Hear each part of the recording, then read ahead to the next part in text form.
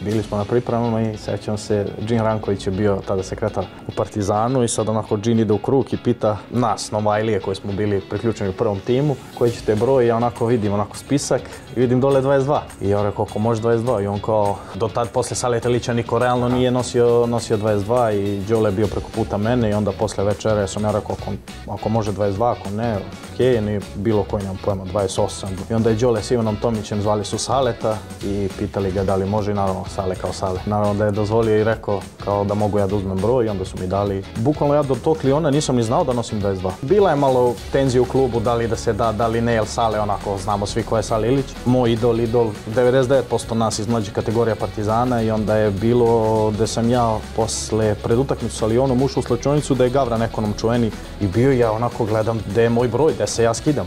I on kaže ajde tamo. I ja priđem ono 22. Sjećam na telefon, ta neki mali bio, ja slikam.